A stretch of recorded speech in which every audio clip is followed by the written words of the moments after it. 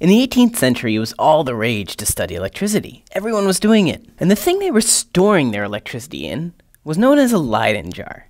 Now, we don't need to go into the details of how this jar worked just yet, but the key thing to know is that through a process which involved friction, this jar could become charged. And for now, let's say that charged means the jar possesses electricity in some way. Well, once it was charged, the electrodes of this jar could be connected to wires, and by attaching these wires to various objects, you could see things like sparks, or you could even start a fire. Now remember, Benjamin Franklin's idea was that lightning is somehow the same thing as the electricity that scientists have been playing around with in these Leyden jars.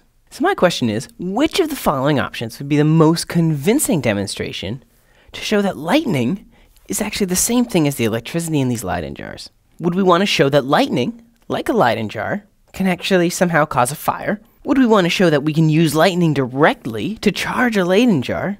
Would we want to use lightning to destroy a Leyden jar? Or would we want to see if lightning somehow increases friction?